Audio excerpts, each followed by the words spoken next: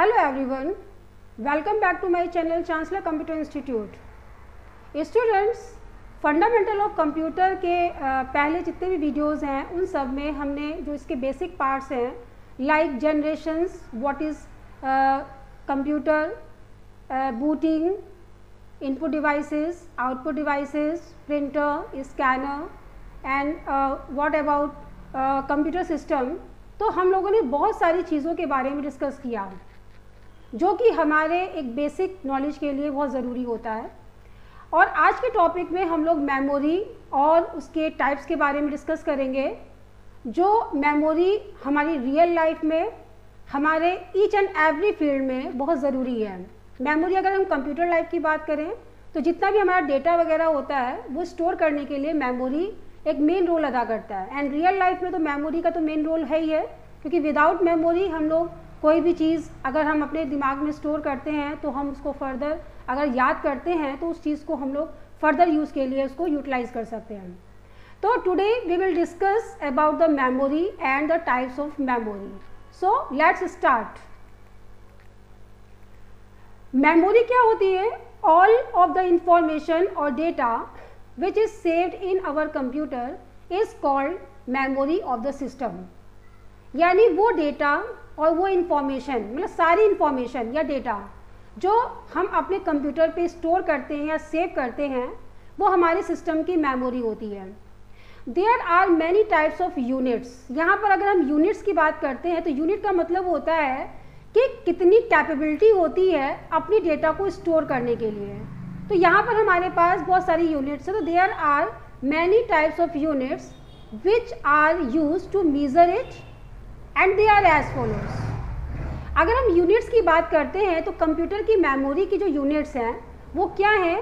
One bit is equal to binary digit यानी अगर हम एक बिट की बात करें तो उसको हम लोग बोलते हैं बाइंड्री डिजिट एट बिट्स की कॉम्बिनेशन को हम बोलते हैं वन बाइट यानी one byte is equal to eight bits ten twenty four byte is equal to one K B यानी kilobyte ten twenty four K B is equal to one megabyte ten twenty four is equal to one G B आजकल जो भी हमारा data वगैरह होता है, वो हम लोग जीबी में ही स्टोर करते हैं, जैसे मेमोरी कार्ड वगैरह होता है। तो मोस्टली लोग 32 का 16 का 8 का जीबी का डेटा स्टोर करने के लिए मेमोरी कार्ड का यूज़ करते हैं। तो a lot of data can be stored in spite of this इसके अलावा जो हमारी बहुत सारी चीज़ें जैसे 1024 जीबी का हमारा एक टीवी होता है। 1024 TV is equals to one P देखिए, इसकी कैटेगरी बढ़ती जा रही है। क्योंकि जो हमारा डेटा है, वो बहुत ज़्यादा होता है तो इसी तरीके से इसकी कैपेबिलिटीज़ हैं, वो बढ़ती जा रही हैं।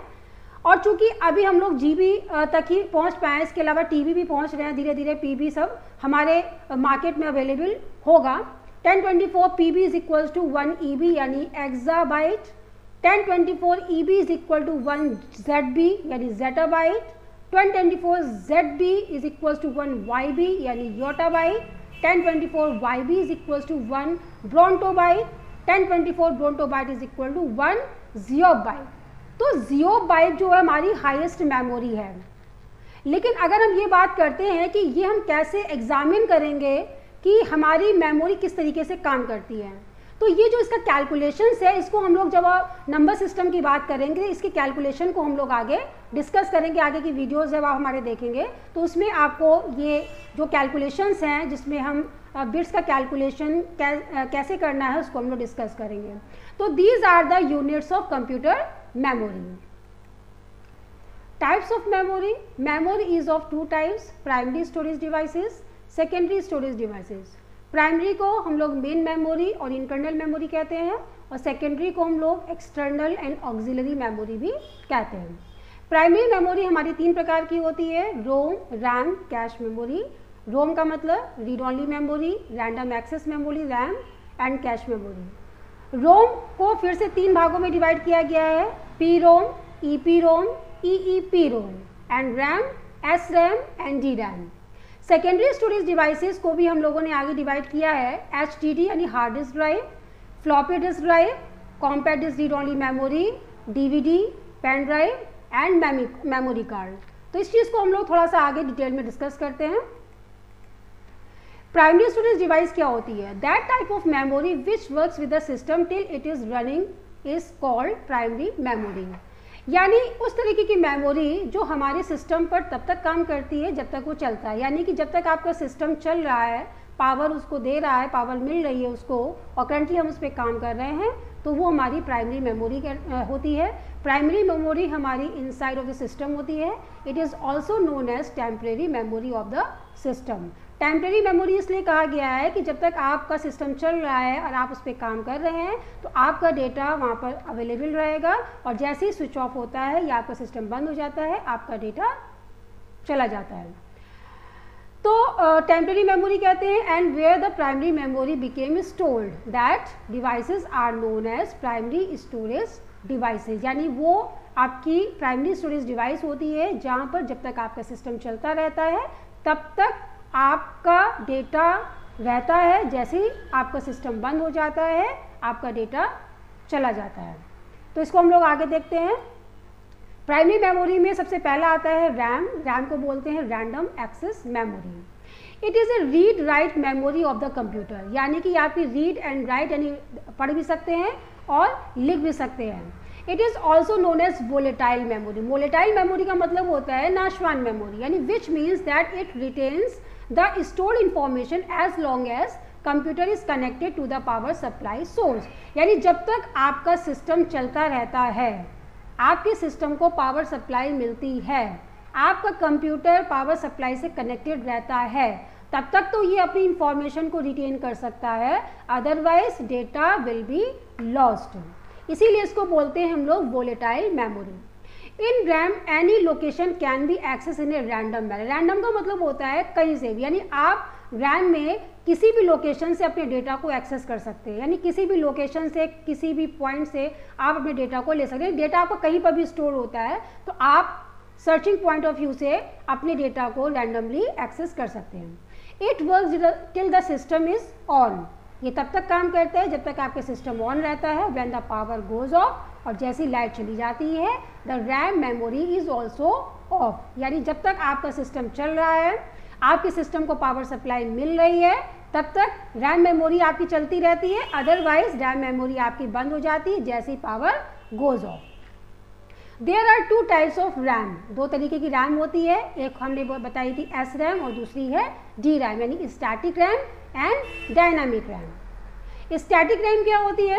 The stored information in this memory remains valid as long as power is apply to the unit यानी जब तक आपके यूनिट को पावर मिलती रहेगी, जब तक आपका सिस्टम चलता रहेगा, जब तक आपके सिस्टम में पावर सप्लाई कंटेन रहेगी, आप उस पर काम कर रहे होंगे, तब तक जो भी स्टोर्ड इन्फॉर्मेशन होगी वो मेमोरी में अवेलेबल रहेगी। It is a high speed RAM ये बहुत ही हाई स्पीड रैम होती कहते कहते हैं ना कि रैम अगर ज़्यादा है रैम अगर आपका ज़्यादा है मेमोरी मतलब ज़्यादा है तो आपका सिस्टम प्रॉपरली वर्क करता है। तेज़ी से चलता है, लेकिन अगर रैम की मेमोरी कम है उसमें तो उसमें आपका जो काम करने की स्पीड होती है, वो भी स्लो रहती है। तो it is a high speed RAM बहुत हाई स्पीड होती है कॉस्टली होती है एंड कंज्यूम्स मोर पावर और ज़्यादा पावर कंज्यूम करती है। तो स्टैटिक मीन्स होती है, स्थिर। तो ये आपकी एस रैम मीन्स कि इसमें आपका डेटा तब तक रहेगा जब तक पावर सप्लाई उसको मिलती रहेगी। Dynamic RAM this RAM has reduce power consumption यानी ये आपके पावर जो कंज्यूम ज़्यादा करता है, आपका एस रैम में वो यहाँ पर कम होता है। And larger storage capacity in a single memory chip single memory chip में भी बहुत ही लार्जर स्टोरेज कैपेसिटी होती है। यानी a lot of data can be stored in dynamic RAM dynamic RAM loses its stored information in a very short time यानी बहुत ही कम समय में के लिए ये अपनी जो स्टोर्ड इंफॉर्मेशन है, वो लॉस कर सकता है। Dynamic RAM have to be refreshed periodically यानी हम जनरली हर दो मिली सेकेंड्स में हमारा जो डेटा होता है, वो क्या होता है रिफ्रेश होता रहता है। दे आर चीपर बहुत ही सस्ते होते हैं have high packing density with moderate speed और बहुत ही हाई पैकिंग डेंसिटी होती है, जिसमें आपकी मॉडरेट स्पीड के साथ में बहुत ही हाई पैकिंग डेंसिटी होती है। तो जो डायनेमिक का मतलब होता है, जो आपकी गतिशील होती है, गतिशील का मतलब होता है जो बहुत ही तेज़ी से काम करती है तो क्या करता है कि पावर कंजप्शन हमारी इसमें कम होती है और इसकी जो कैपेसिटी होती है स्टोरेज कैपेसिटी होती है, वो बहुत ज़्यादा होती है। नाउ रोम क्या होता है? Read only memory it means the data written in this memory can not be changeable यानी जो भी डेटा हमारा इसमें होता है, उसको हम चेंज नहीं कर सकते। We can only read it again and again हम केवल उस डेटा को रीड कर सकते हैं। It is a non volatile memory इसीलिए इसको नॉन वोलेटाइल बोले। देखिए रैम को हम लोग वोलेटाइल मेमोरी कहते हैं और रोम को हम लोग नॉन वोलेटाइल मेमोरी कहते हैं। क्योंकि इसमें जो डेटा होता है, जब मैन्युफैक्चरिंग होती है आपके सिस्टम की, तभी उसमें आपका जो डेटा होता है वो डाला जाता है। तो वो जो डेटा होता है, वो आपका रोम से रिलेटेड होता है। तो हम उसको चेंज नहीं कर सकते हैं। और अगर पावर ऑफ़ भी चली जाती है तो कोई दिक्कत नहीं होती है, आपका डेटा उसमें सुरक्षित रहता है। लेकिन हम उसको बार बार पढ़ सकते हैं। तो ये नाशवान मेमोरी नहीं होती है। जो आपकी रैम होती है रैंडम जो रैम की मेमोरी में जो डेटा होता है, वो आपका लॉस्ट हो सकता है when the power goes off लेकिन रोम का जो डेटा है, वो नहीं जाता है। अगर पावर भी चली जाती है तो आपका डेटा उसमें सुरक्षित रहता है। There are following types of ROM P ROM programmable read only memory E P ROM erasable programmable read only memory E E P ROM electrical erasable programmable read only memory तो basically ROM का जो main part है, वो यही है कि ये आपकी नॉन वोलेटाइल मेमोरी होती है, इसमें डेटा आपका सुरक्षित रहता है, इसमें डेटा आपका डिलीट नहीं होता है। कैश मेमोरी क्या होती है? The cache memory is placed between C P U and main memory C P U central processing unit और जो आपकी मेन मेमोरी होती है, जो इनसाइड द सिस्टम होती है, उसके बीच में प्लेस्ड होती है। It is a fast speed memory बहुत ही फास्ट स्पीड मेमोरी है. इट इज़ एन एक्सपेंसिव बहुत ही एक्सपेंसिव होती है and faster than main memory यानी मेन मेमोरी से बहुत ज़्यादा एक्सपेंसिव नहीं, बहुत ही ज़्यादा महँगी होती है और बहुत ही ज़्यादा फास्ट वर्क करती है. यानी अगर हम बात करते हैं कि अगर मेन मेमोरी हमारी फास्ट है, कि कैश मेमोरी तो cache memory is much faster than main memory it increases the speed of the operating system इससे क्या होता है? हमारी ऑपरेटिंग सिस्टम जो हमारा मेन इंटरफेस होता है उसकी स्पीड को बढ़ाता है। The instructions that are frequently use by the C P U यानी जो भी इंस्ट्रक्शंस जो भी हम डेटा यूज़ कर रहे हैं जो भी इंस्ट्रक्शंस यहाँ पर हम लोग देते हैं वो फ्रिक्वेंटली यूज़ होता है सी पी यू के द्वारा। Are store in the cache में फर्स्टली वो आपका कैश मेमोरी में स्टोर होता है। अगर आप डायरेक्टली चाहें तो कैश मेमोरी से डेटा को आ, ले सकते हैं। It is used to reduce the average access time for address, instructions or data which are normally stored in the main memory. Basically इसका मेन काम क्या होता है कि इससे क्या होता है कि हमारा जो एवरेज एक्सेस टाइम होता है एड्रेस का एड्रेस का इंस्ट्रक्शंस का निर्देशों का और डेटा का जो हमारा बेसिकली मेन मेमोरी में स्टोर होता है वो क्या होता है रिड्यूस होता है ये देखिए, इसका एक डायग्राम है। सीपीयू है कैश मेमोरी है मेन मेमोरी है। सीपीयू और मेन मेमोरी के बीच में कैश मेमोरी है। अगर हम इसका एक एग्जांपल देते हैं कि देखिए, कोई भी डेटा वगैरह आपका जो भी स्टोर होता है, वो अगर मेन मेमोरी में स्टोर होता है तो मेन मेमोरी से सीपीयू में थोड़ा सा इसमें देखिए कितनी दूरी है। और जबकि कैश मेमोरी है तो सबसे पहले जो डेटा होता है, वो आपका कैश मेमोरी में चेक करता है। कैश मेमोरी में अगर उसको डेटा मिल जाता है तो वो मेन मेमोरी में नहीं जाएगा।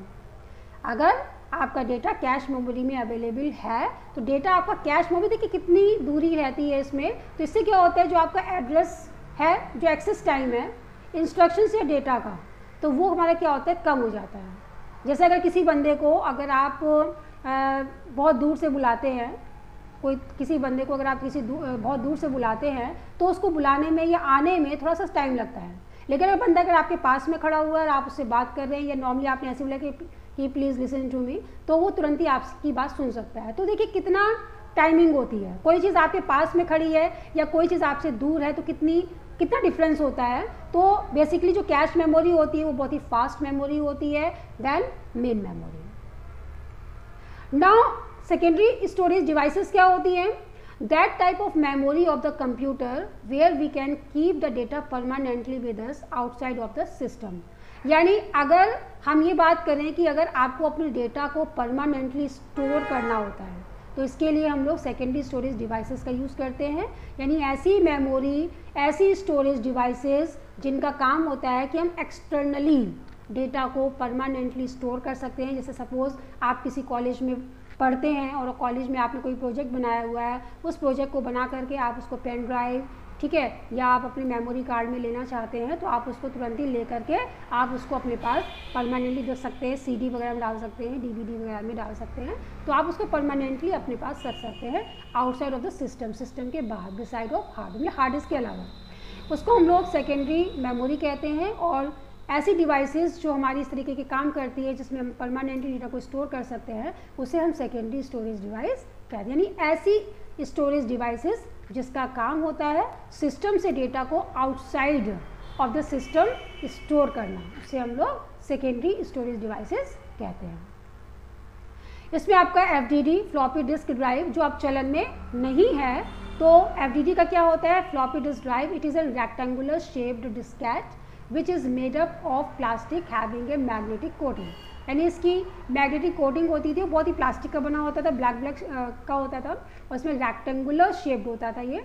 The disk is covered with a protective sheet इसमें प्रोटेक्टिव शीट यानी कवर होता था with opening for editing and writing यानी उसमें भी जैसे एक गेट टाइप का होता है कि आप उसको स्लाइड करके अपने डेट मतलब फ्लॉपी को चाहे उसको एडिट के लिए यूज़ कर सकते हैं, चाहे उसको राइटिंग के लिए यूज़ कर सकते हैं।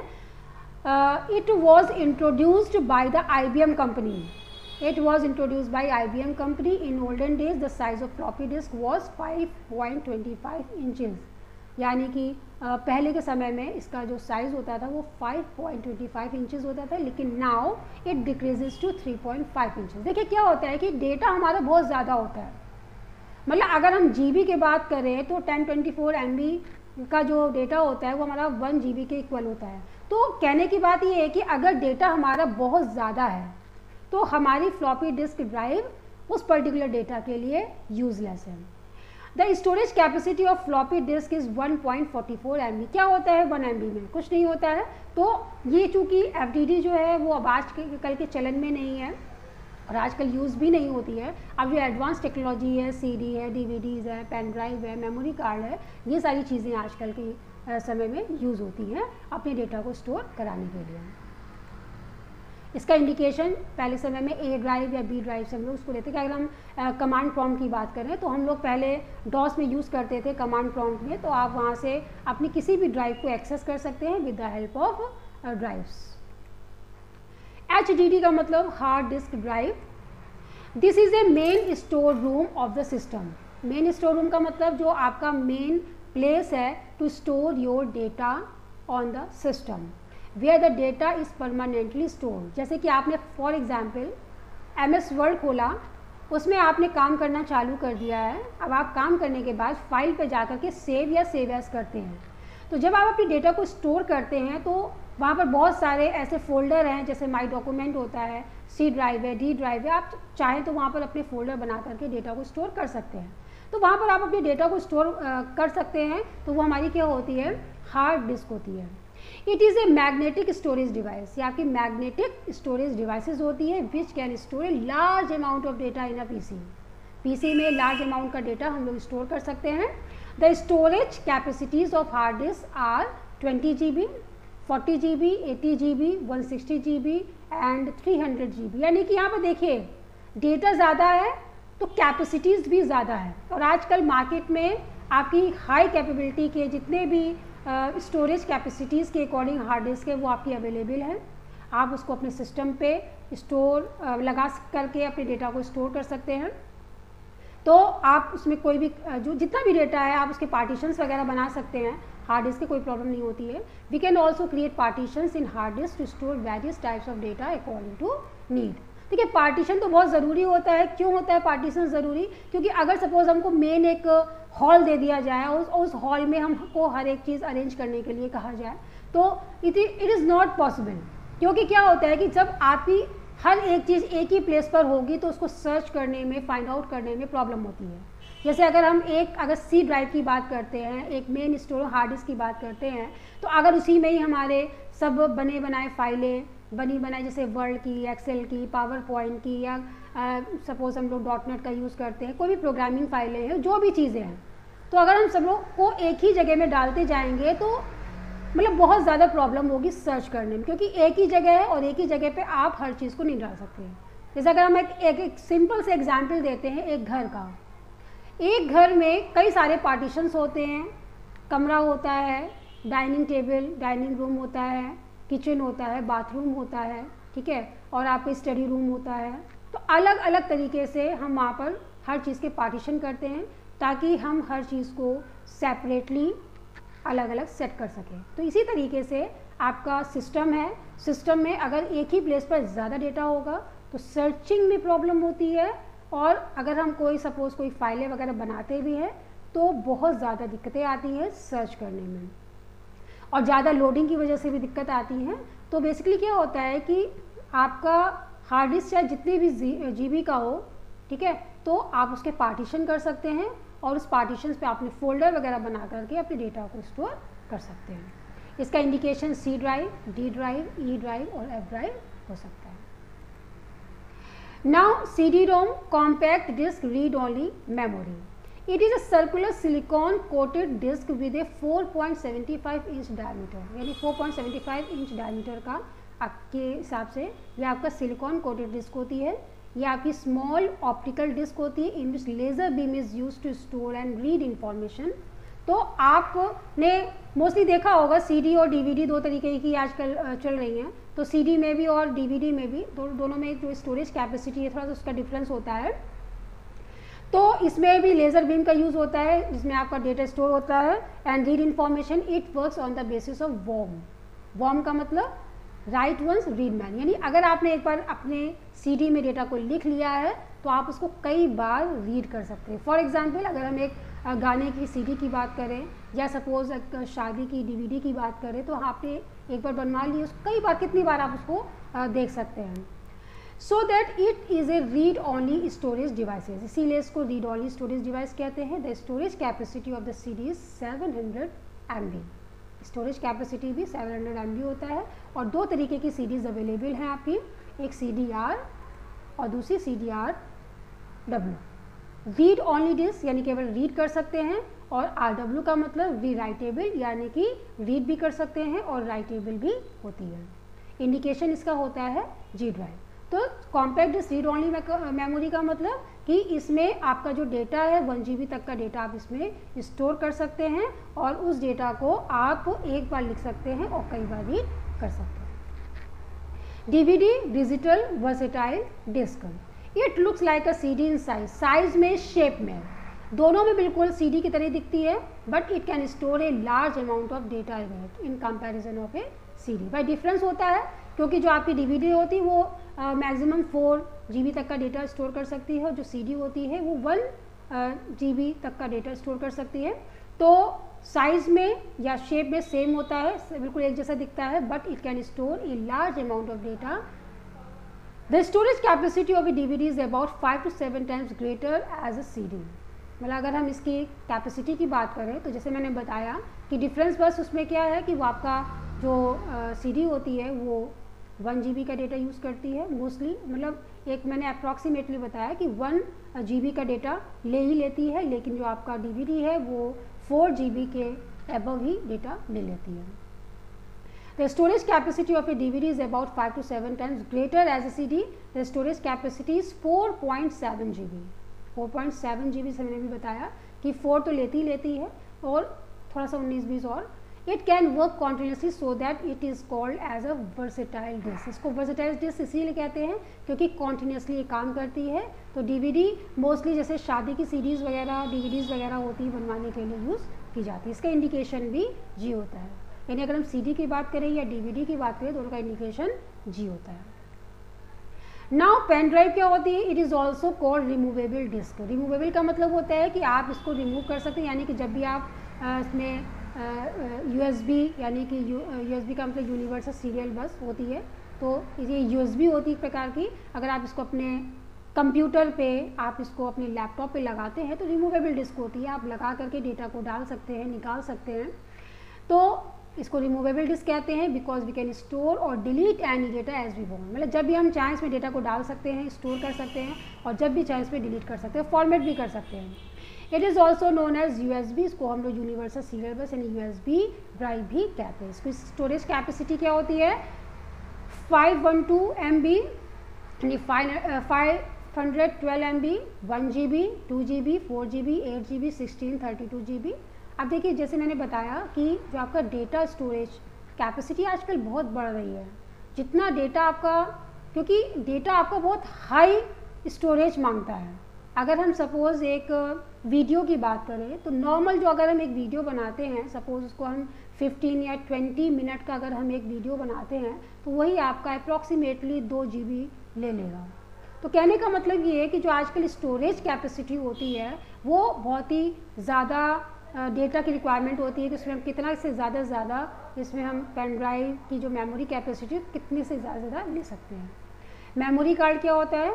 It is also called removable disk ये भी आपका रिमूवेबल डिस्क होता है, ये आपके क्या कहते हैं मोबाइल वगैरह में यूज़ होता है। हियर वी कैन स्टोर और delete any data as we want जैसे मेमोरी कार्ड भी है, वो भी आप one G B two G B four G B eight G B sixteen thirty two G B का मेमोरी कार्ड यूज़ कर सकते हैं। आप उसको अपने मोबाइल पे लगा सकते हैं। मोबाइल में जो आपका जो आपके सिस्टम पे या मोबाइल पे जो डेटा पड़ा होता है, आप उसको मेमोरी कार्ड में डाल करके, उसको आप सिस्टम से कनेक्ट करके, आप उसके जितना भी डेटा है, उसको आप अपने सिस्टम पे डाल सकते हैं। तो मेमोरी कार्ड भी एक रिमूवेबल डिस्क होती है, जिसमें आप अपनी डेटा को स्टोर कर सकते हैं, और आप चाहें तो उसमें किसी भी प्रकार का, चाहे वीडियो हो, चाहे वो आपके गाने वगैरह हो, वो सब आप डेटा स्टोर कर सकते हैं। तो स्टूडेंट्स ये सारी चीज़ें हम लोगों ने मेमोरी के बारे में डिस्कस किया है जिसमें हम लोगों ने primary memory and secondary memory दोनों के बारे में डिस्कशन किया है। सो so, स्टूडेंट्स आपको ये वीडियो कैसा लगा? उसे प्लीज़ कमेंट बॉक्स में मुझे लिख करके ज़रूर बताइएगा। अगर आपको ये वीडियो अच्छा लगा तो प्लीज़ इस वीडियो को लाइक करिए शेयर करिए सब्सक्राइब करिए and please press the bell icon और हम लोग आगे की वीडियोस जल्दी ही लाएँगे। Till then good bye